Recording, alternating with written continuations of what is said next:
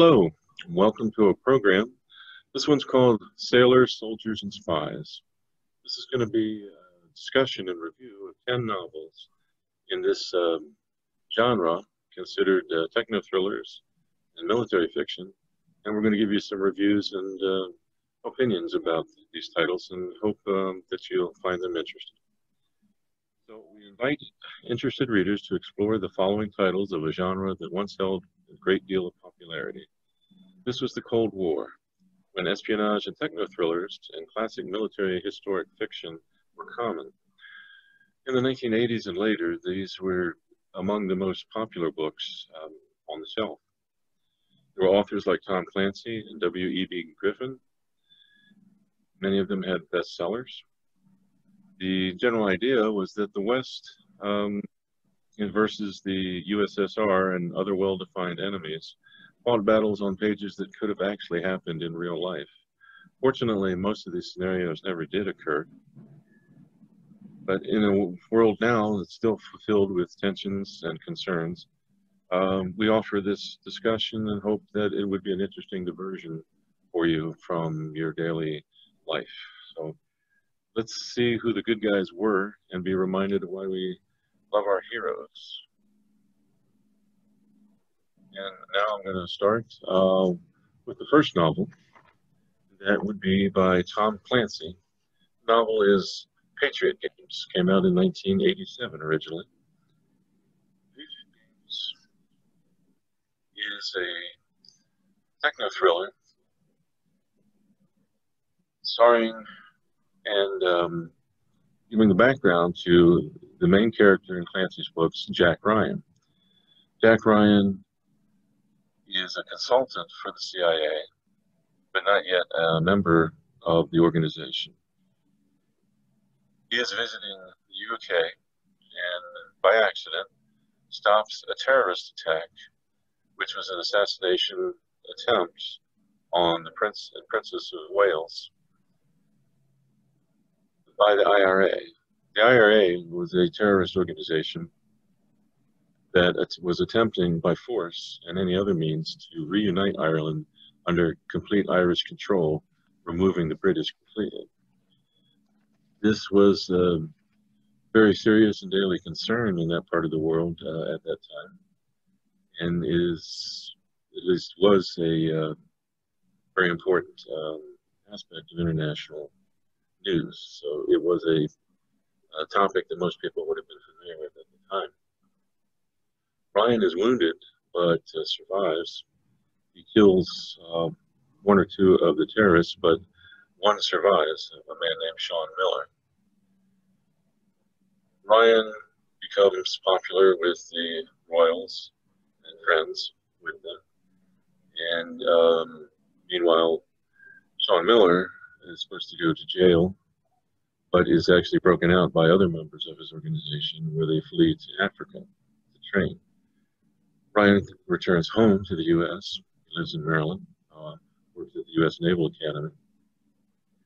But he has connections with the CIA as a consultant, and he works with a man named Admiral James Greer. They decide that it would be interesting and maybe useful to see if they could follow up on the IRA or other terrorist organizations for personal or professional means. Ryan is uh, somewhat reluctant to become full member of the CIA, but Sean Miller and others come to the U.S. and actually uh, do another assassination attempt on him and his family. His wife and daughter are severely injured, but they do survive. And Ryan decides to become fully involved in attempting to stop the terrorists Sean Miller and the others come back again um, when later that year Ryan has invited the Prince and Princess of Wales to his house, uh, thinking that everything is safe. In fact, they're not. They are attacked at the home, escape to the Naval Academy, where there's uh, a firefight in Annapolis, and then in Baltimore. Uh, terrorists are captured. Ryan has a chance to kill the terrorists, but does not. When he realizes that he is a man of principle and law And that becomes the theme that if everyone, including the Irish, the Northern Irish, and the UK, anyone in the UK, if they all worked for the principles of law, and if they were effectively governed everyone, then the terrorist uh, manifesto would no longer be of any use, and that there would be a much more peaceful situation. Ultimately, that does occur through discussions, meetings, and the IRA is no longer what it once was, depending on uh, your definition of uh, Northern Ireland and, and, the troubles as they once were. This was a very popular book during that summer and later. Ryan is a character throughout many of Clancy's books. Uh, Clancy was one of the hottest uh, authors in the late 80s and the 90s, and had other uh, books series splintered off by ghostwriters and others. So, if you have an interest in this sort of uh, action thriller and it's set in this local area, there's many discussions of Maryland and uh, locales, then I would highly recommend this book. And if you're interested in the history of uh, UK or Ireland, Irish US relations, or just a vague interest that you might be an Irish American, this is one of the books that I'd recommend. And with that, I am going to send you over to Martin Seeboth, and he's going to discuss a different novel from a different time. Um, Killer Angels by Michael Shaara quote, simply the best Civil War novel ever written. The descriptions of combat are incomparable. They convey not just the sights, but the noise and the smell of battle. And the, and the characterizations are simply superb. Shaara has managed to capture the essence of war, the divided friendships, the madness, and the heroism. Stephen Oates. Quote, remarkable, a book that simply changed my life. I had never visited Gettysburg before, knew almost nothing about that battle before I read this book. But here, it all came alive. Ken Burns. The Killer Angels received the 1975 Pulitzer Prize for fiction. It has been required reading at the U.S. Ar Army Officer Candidate School, the Citadel, the U.S. Army Command, and the U.S. Military Academy at West Point. The book was turned into a movie in 1993 entitled Gettysburg and starred Tom Berenger, Jeff Daniels, Stephen Lang, Martin Sheen, and one of my favorite actors, Sam Elliott. Killer Angels, at its heart, tells the story of the Battle of Gettysburg. It presents both a factual retelling of events as well as the emotional experience of living it. Shaara selects four people as the main viewpoint characters and moves back and forth between them as the story progresses. This approach builds tension and allows personal connections to be made with the characters. Their backgrounds, their desires, their beliefs, and fears are all revealed in this novel. On the Confederate side, he focuses on Robert E. Lee and Longstreet, while on the Union side, he focuses on Buford and Chamberlain. He adds a couple of additional viewpoints using the characters of Harrison who is a Confederate spy, Armistead, who's one of the Confederate commanders under Pickett, and Fremantle, an English observer on the Confederate side. These viewpoints give the reader a view of the action from the different levels of command and from the sidelines and from right in the middle of the action. Another of the main strengths, another of the many strengths of this book is Shaara's expert use of maps. The maps depict the positioning of the troops as they went into battle, as they advanced, and as they retreated. It kind of lets you play like general and see whether you agree with the decisions made, what you might have done different, etc. In summary, if you buy one historical fiction novel on the Civil War, let it be this one. Highest recommended. And now I'm going to turn it over to Jimmy, who's going to do a talk about Webb Griffin.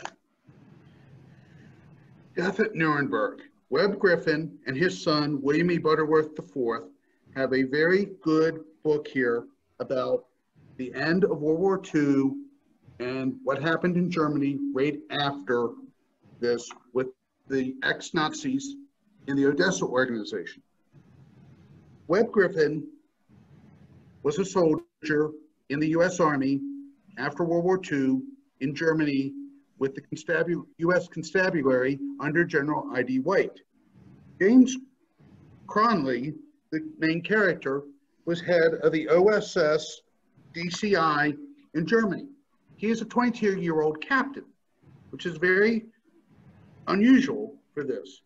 Not only does he have to protect the head US prosecutor at the Nuremberg trials from kidnapping by the NKGB, now the KGB or whatever they're calling themselves this week, he also has to protect his family, his friends from assassination, and he has some love interest. He is in love with a, his high school sweetheart and his administrative assistant and, and a dashing war correspondent for the Associated Press.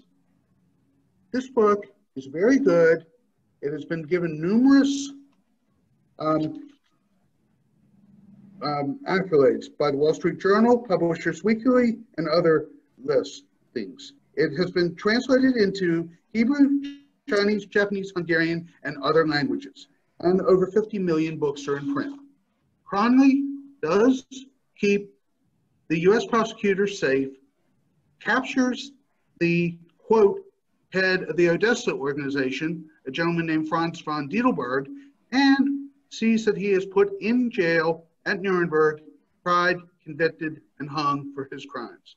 If anyone wants to read a good book about the end of World War II and what we were doing trying to make the world safe, not only from the Russians, but the ex-Nazis, I would recommend Death at Nuremberg. Now I'm going to turn it back over to Jim Kirschner. Thank you. Okay, our next novel uh, takes us back to the Cold War in the 1970s, 1980s period. This one is called Firefox. Again, a techno thriller. The author is Craig Thomas, uh, who is possibly considered as uh, forerunner of the genre uh, for the UK, uh, similar to Tom Clancy in the US. A little background to this. Um, in 1976, a Soviet MiG-25 uh, defected to Japan, flown by Lieutenant Viktor Belenko. The Foxbat had been considered um, a mysterious and potentially very dangerous aircraft. Very little was known about it. It was highly secretive in a world uh, from a country that is absolutely highly secretive. It certainly was at that time. Um, Thomas took the general idea that um, the Soviets had developed a plane that was so far in advance of the Western world that the CIA and MI6 in the UK came up with no other plan but to steal one, literally force it um, uh, out of the uh, USSR. So they take a Vietnam pilot who was dealing with PSTD, or sorry, PD, PTSD, I'm sorry. Is that right? PTSD. Um, and train him uh, to fly this aircraft because he has a background uh, knowledge of speaking Russian and so forth. They, um, through various means, um, uh, espionage, uh, cover, um, murder, they get him to the uh, Soviet air base to fly the plane, and he does, with great difficulty, manage to escape. There is a battle with the, there are only two of this type of aircraft at the time called the MiG-31 uh, that's been overtaken by reality that there really is MiG-31 in the Russian Air Force. It has nothing to do with this book or this airplane. And he does escape, um, has a battle with the second aircraft, and um, at the end of the novel, uh, he is on his way home. There's in fact a sequel to this called Firefox Down, which goes into more detail. But this discusses, excuse me, this discusses um, the Cold War um, situation at the time, which was uh, fairly tense. Uh, the book, again, was written in the late 70s. There was a great deal of possibility of World War III occurring for various reasons throughout what Eastern Europe or the Middle East uh, and even in uh, India and China. So this takes uh, that tension and tries to find a way to insert this damaged human, whose name is Mitchell Grant, Mitchell Gant, uh, to fly the airplane and save the West from its own limitations.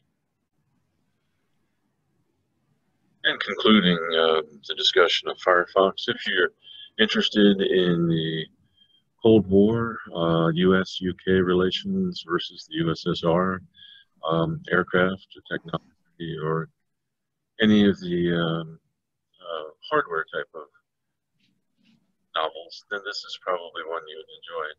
Many may remember, uh, depending on your age, uh, a 1982 movie uh, starring Clint Eastwood as Mitchell Gant uh, in the movie of the same name, Firefox. It was um, an interesting action film for its time.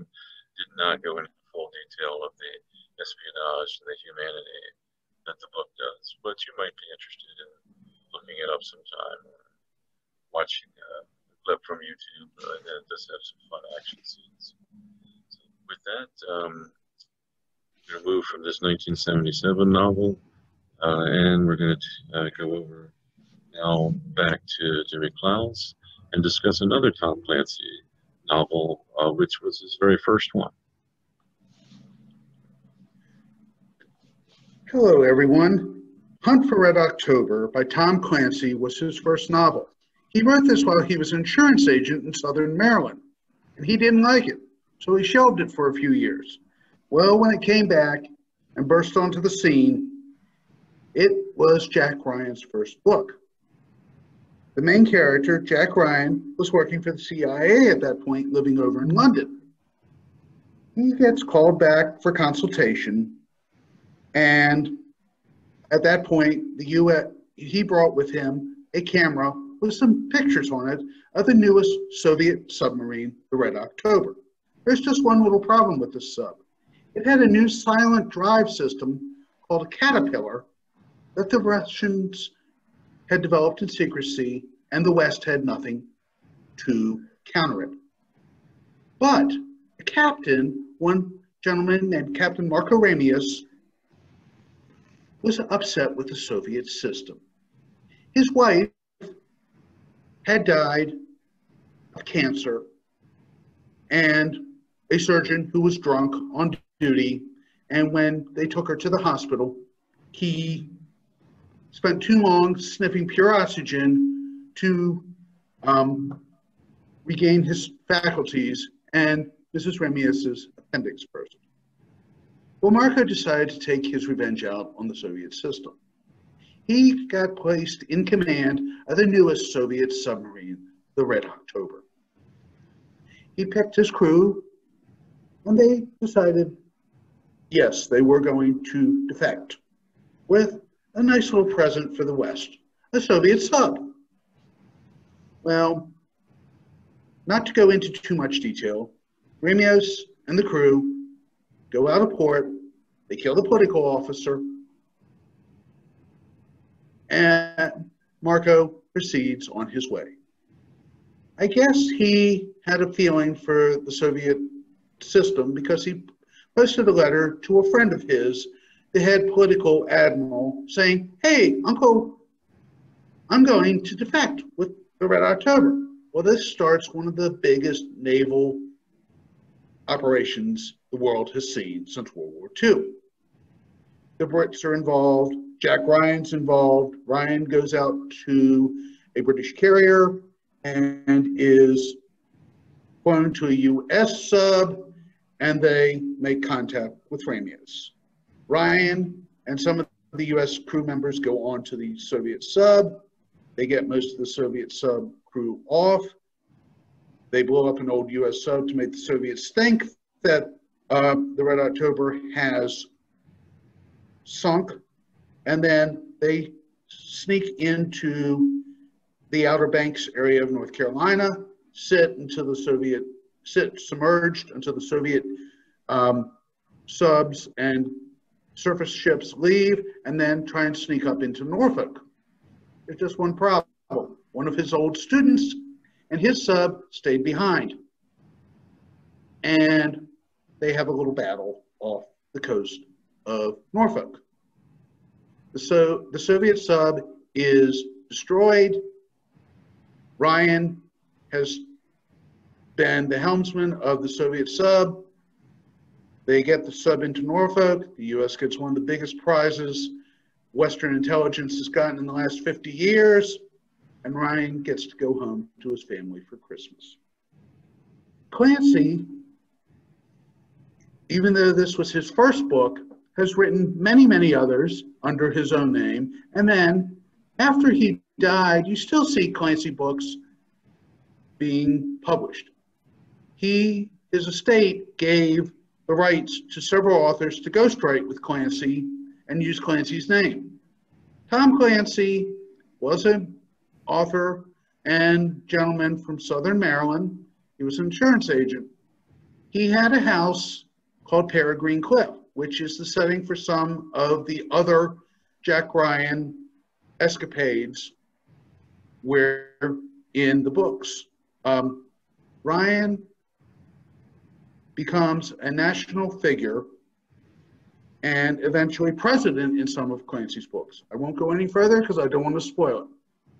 So if you want to read a book with some local flair, local um, places, very good author, Tom Clancy, Hunt for Red October, even though it was written in the 80s, you still can find copies in bookstores and online today. That's it. And then I'm going to send it back, I believe, to Martin. Such a classic, such a classic, Jimmy. Uh, the book I'm going to cover is called Guns of the South, and it's by Harry Turtledove. This is a historical fiction novel that literally throws everything in the kitchen sink in and then some. For some readers, this concept will hit them as creative, innovative, and even wild, while others will see it as a stretch or even ridiculous. So, what are we talking about? Just as the Confederates' cause seems lost, deliverance arrives in the form of 20th, 20th century weapons. So where do these weapons come from? Well, of course, they come from South African white supremacists with access to a time travel machine who conclude that their philosophy would find support in a victor in a victorious confederacy and they begin large shipments of AK-47 rifles from 21st century Johannesburg to 19th century Virginia. I mean this all makes sense, doesn't it? Their hope is to provide a haven for slavery and extreme racism that will last into succeeding centuries. The South, dazzled and thrilled by the possibilities of this new weapon, Robert E. Lee and his troops grabbed the guns and turned the war and American history around. Harry Turtledove is a renowned and prolific writer. He has written separately in and combined historical fiction, science fiction, fantasy, and alternate history genres. Publishers Weekly has dubbed Turtledove the master of alternate history. Within the genre, he is known for creating original alternate history, scenarios involving the survival of the Byzantine Empire, or even an alien invasion during World War II. In addition, he has been given credit for giving original treatment to alternate themes that have been presented by others, including including the victory of the South in the Civil War, which Turtledove has given lots of credit to author MacKinlay Kantor for his novel, If the South Had Won the Civil War, and the victory of Nazi Germany during World War II. Turtledove has been a huge influence in the alternate history field and has provided readers with a large number of books to explore his creative mind and his well-researched material. And now I'm going to turn it back over to Jim, who's going to take us on another cruise in military history. Thank you, Mark. Our next novel is written by Ralph Peters. Ralph Peters uh, was in the U.S. Army, tank um, commander, I believe, among other things, intelligence officer. He uh, writes, or in this case, in 1991, wrote a novel called The War in 2020. He takes his um, characters usually through fairly harsh um, conditions and uh, situations. And uh, it does take a little getting used to, it, offers uh, a lot of uh, fascinating possibilities. Again, this was written in 1991 about a war in 2020, which of course is happening right now. Um, it is a fairly dystopian novel where over the last um, 15, 20 years in the history of the United States, things have not gone well after Desert Storm and so forth. There's been social unrest, economic disaster, uh, wars elsewhere in the world, in which the United States uh, unfortunately uh, participated. The situation is the Soviet Union, as such as it is, is barely able to hold off Islamic unions and uh, member member states who are becoming radicalized, along with Iran and so forth, to try to destroy the Soviet Union and the West and the rest of the world. Japan um, has become more militarized and wants to be a superpower. In today's reality, it's China, but in this novel, it's Japan becomes pretty much the way they were during the imperial times during World War II. The situation, um, mainly guided by the main character named George Taylor, he's a cavalry officer in the U.S. Army, considered the air cavalry.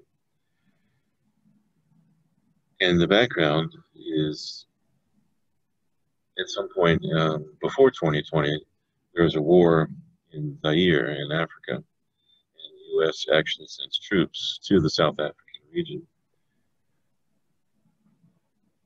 There is a lot of disaster and death, and ultimately, uh, the U.S. decides to use nuclear weapons on South Africa. This results in um, total world opinion against the U.S.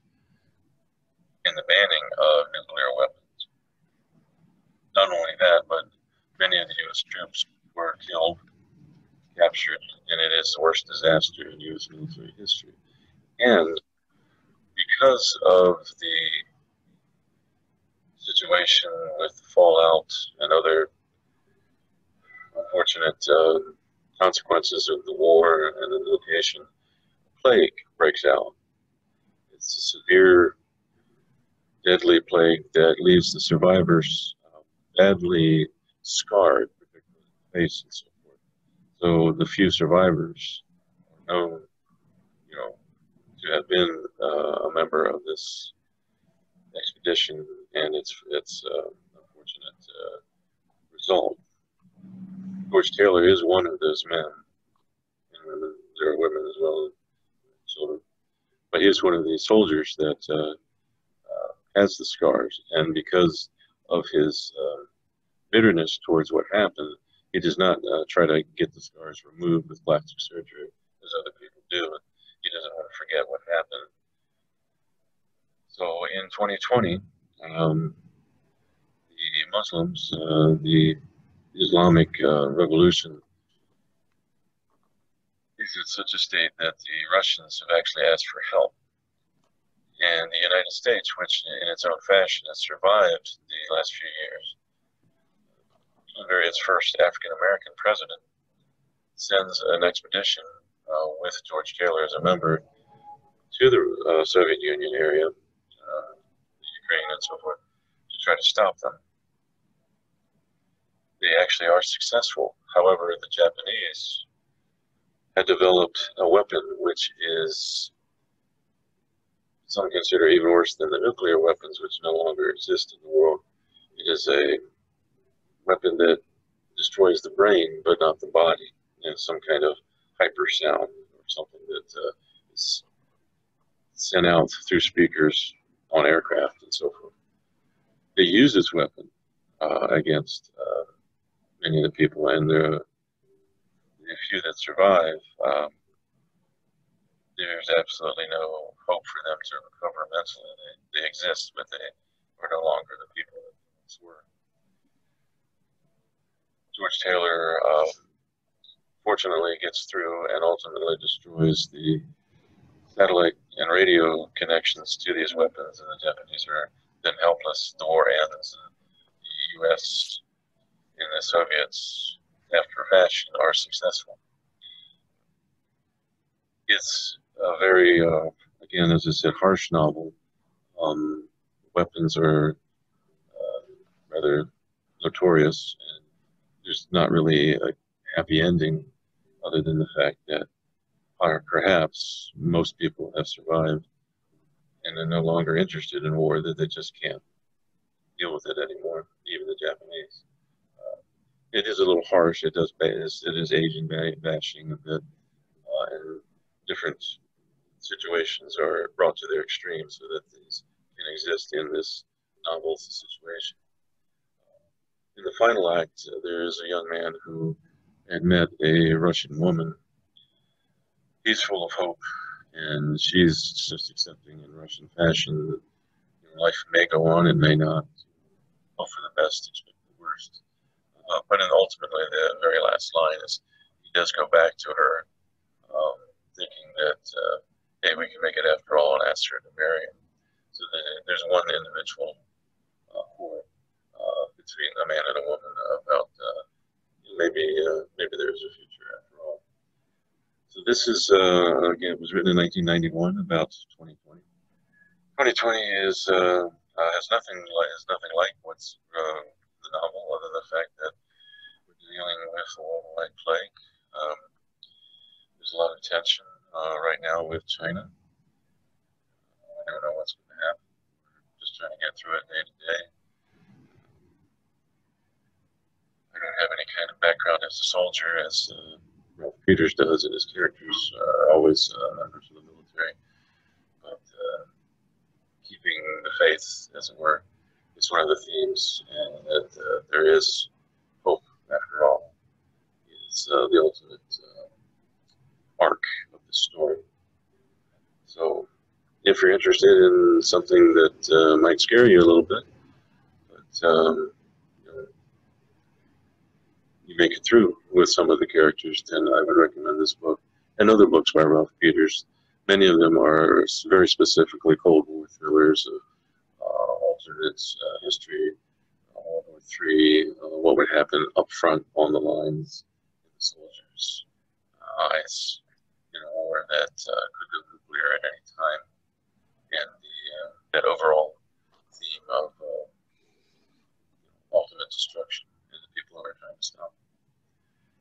So with that, uh, we are now going to move over to, uh, I believe, we actually, we're going to be going back to Jimmy, and he's going to do The Deserter. Yes. Thank you, Jim. The Deserter by Nelson DeMille. Captain Kyle Mercer, U.S. Army Delta Force, is over in Afghanistan. He dis disappears from his post. They don't know, did he just walk away? Was he captured and kidnapped by the Taliban, but eventually he ends up with the Taliban. Years later, he is spotted in Caracas, Venezuela. The top military brass of the U.S. send the CID, Criminal Investigation Division, Special Agents Scott Brodie and Maggie Taylor to Venezuela to capture Mr. Captain Mercer and bring him back to the U.S. to stand trial for desertion. Desertion is one of the only crimes in the US military that you can be shot for. So the stakes are high. But Venezuela is in chaos, mob rule. Captain Mercer is in charge of one of these mobs. He has his own private army in the forest of Venezuela. And these guys are doing everything from drug dealing to kidnapping rape, robbery, murder. And when the main character, Scott Brodie, and the beautiful Maggie Taylor go to Venezuela, they end up getting invited to go to Captain Mercer's compound. They eventually get out, get Captain Mercer, and haul him back to the U.S. Nelson DeMille is a U.S. Army veteran of the Vietnam era. He's also very learned. He has three doctorates. And this book, The Deserter, is current. It was written in 2019, probably based on the story of a U.S. Army soldier who supposedly was kidnapped by the Taliban, stayed with them for a few months, and then got rescued. You want a good read. It has love interest in it between some of the characters. I would recommend The Deserter by Nelson DeMille.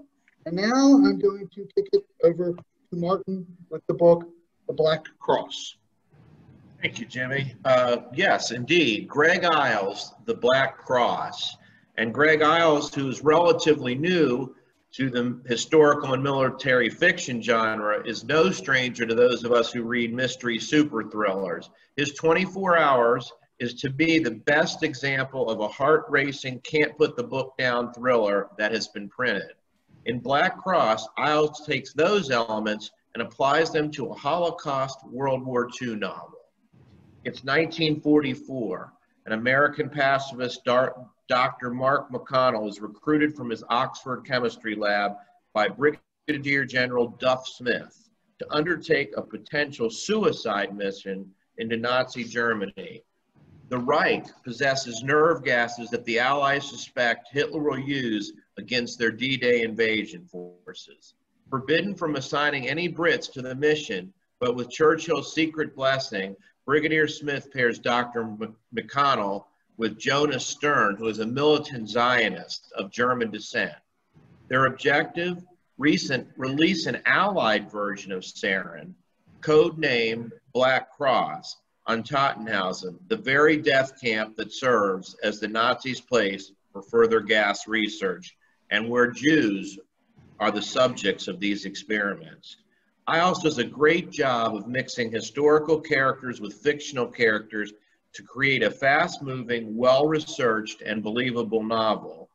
Uh, one under, other interesting note I want to mention about Greg Iles, uh, when I worked back at the Hillcrest Heights Library in the mid-90s, um, Iles agreed to do a call-in during one of our book discussion groups, and we discussed his novel, The Quiet Game.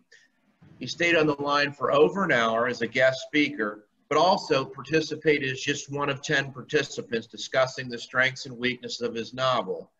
He was informative, he was good-natured, and he was also generous in exhibiting his listening skills. Um, for me, it remains a highlight of my career with the PGC, Prince George's County Memorial Library System, uh, Greg Iles' appearance. And it was at the time, like I said, when his career was just really starting to get off. So, you know, you'll feel like you were at the ground floor of someone who you knew was going to make it big, but before he had made it, and just sat there and participated in a call-in session with uh, our book discussion group in Hillcrest. So kudos to Greg Iles. And back to Jimmy now, I think, for our final book. Yes, Kremlin Strike by Dale Brown. In Kremlin Strike, Brad McLanahan and the Iron Wolf Squadron must fight the Russians on a dangerous, untested battlefield, that of outer space. The Russians are building up their space defenses. The new Russian president is wanting to control the whole world from space. The new president of the United States John Dalton Farrell intends to challenge this act of aggression head on. He turns to Brad and Patrick McLanahan and the Iron Wolf Squadron to do this. In the squadron, there is a former Polish Special Service officer named Nadia Rosnek.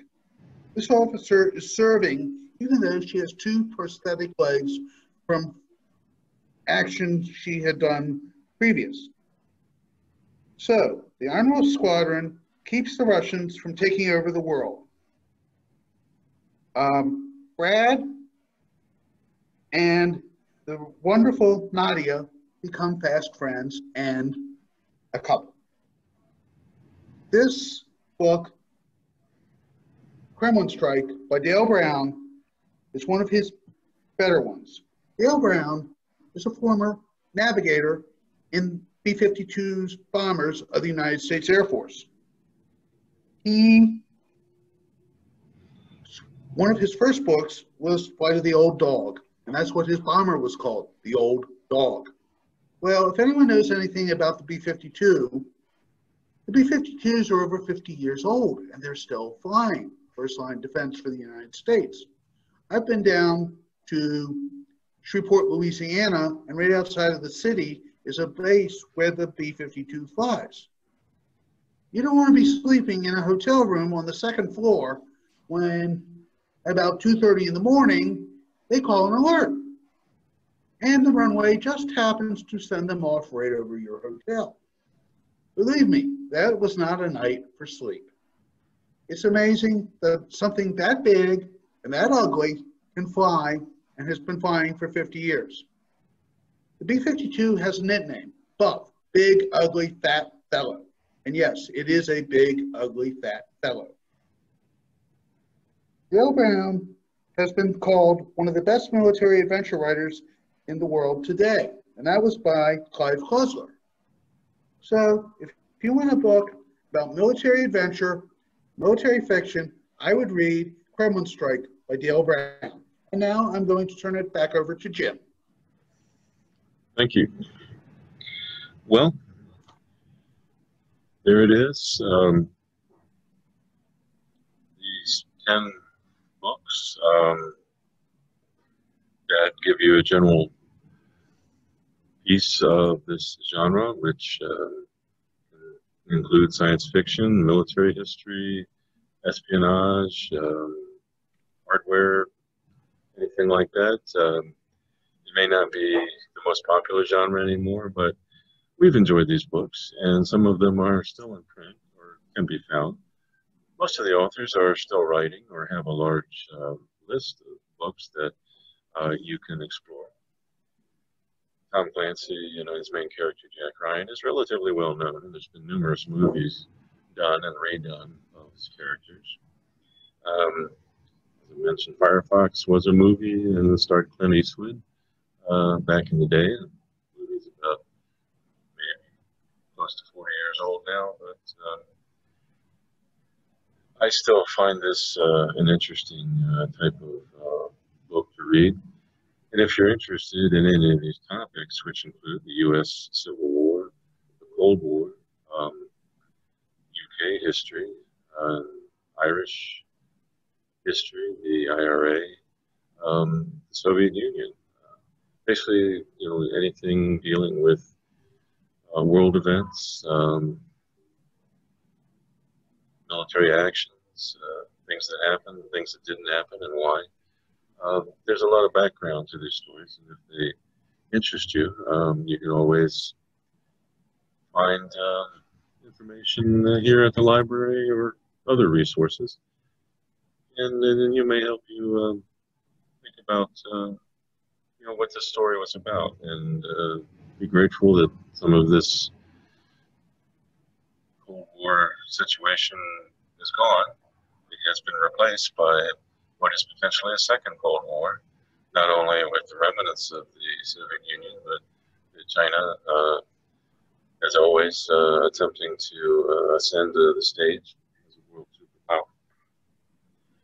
And during these times of uh, social and political uh, um, awareness and, uh, should I say, anxiety.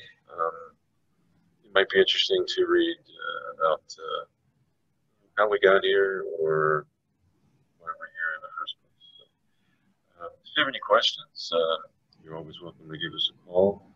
Uh, we can make available a list of these titles or many of the other titles uh, within the genre or others. And, you know, we hope that you've enjoyed listening to some of this. I realize that we're not the greatest actors we're narrators in the world. I'm talking about myself, not the other two gentlemen. But, uh, you know, we're happy to uh, offer you some uh, interesting diversion, as you said. So, enjoy. Yeah, I would just like to say for those listening at home too, you can put it in the chat box here. Uh, Jim, Jimmy, or I can answer any of these questions you have, recommendations. And I have a question for Jim and Jimmy. And like I said, you're welcome. Please put in the chat box what the questions are. We will get back to you or answer them tonight if we can. But if not, we'll get back to you with the uh, answers. Uh, my question for Jim is that we're obviously just barely touching the surface of this genre.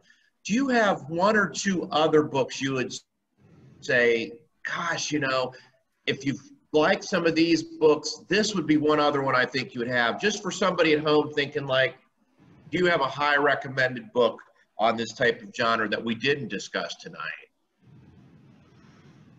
Well, as I said, I mean, we're barely uh, talking about uh, the genre, which includes so many possibilities. My personal thought is I think some of the earlier books um, by Clancy and Dale Brown. Hunt for um, Red October seemed to be pretty solid. You know, President Reagan himself uh, was supposedly a fan, had a copy of it on, on his desk in the Oval Office. Um, That's interesting. Who's President Reagan? Well, I'm gonna have to uh, we'll have to help you out on that in the history part too. Um, for Dale Brown, I believe the uh, Flight of the Old Dog, his first novel, was, uh, was a really good one. Um, I actually used to go to the bookstore. There were bookstores in malls at that time, uh, and I particularly wanted to get the first edition hard copies. Uh, some of those can still be found uh, used books on Amazon or eBay. Perhaps think about it.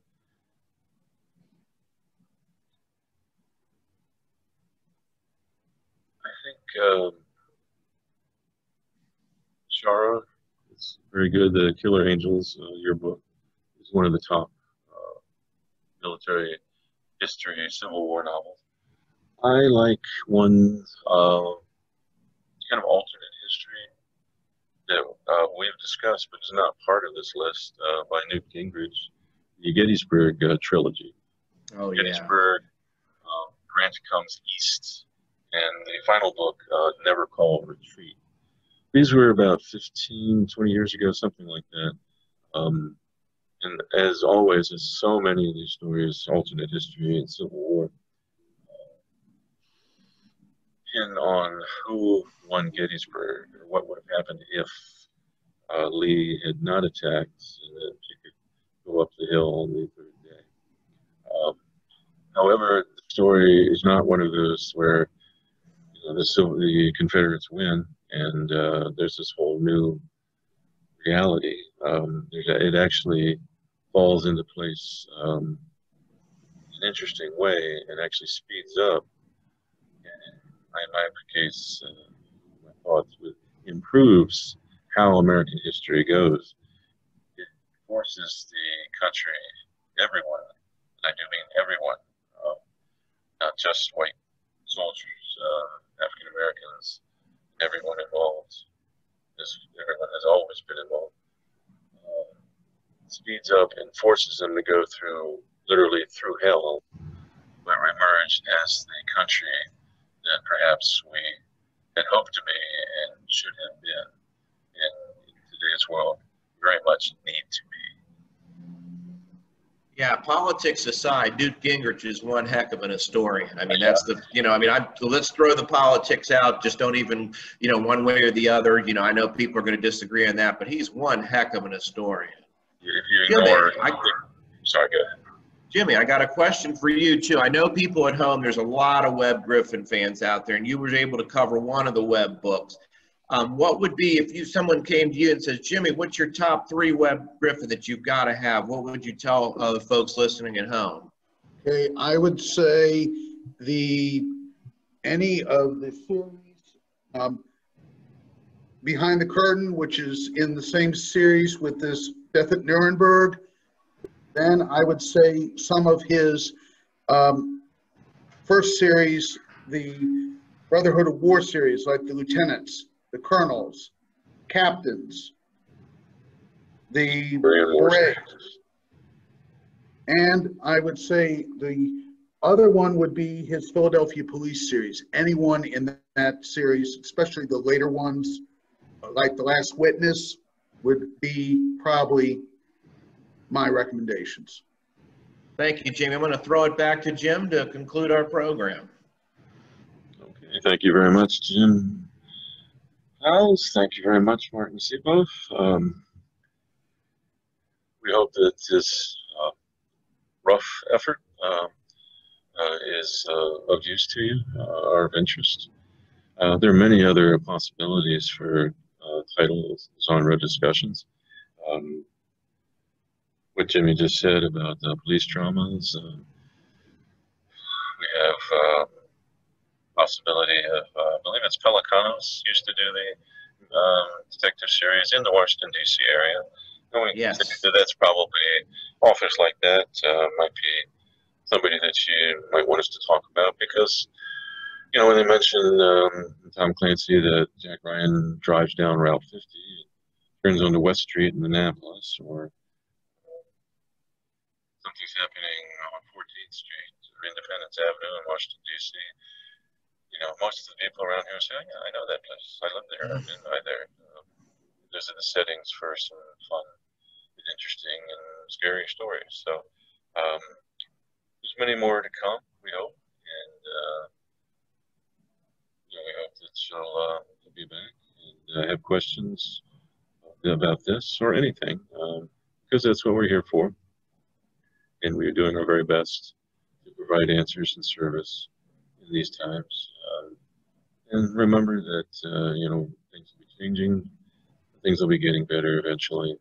So as we uh, found out in our stories we just talked about and others, you know, we do keep going, and we will get through this. So thanks very much, and we're going to end it now, and uh, we will see you next time.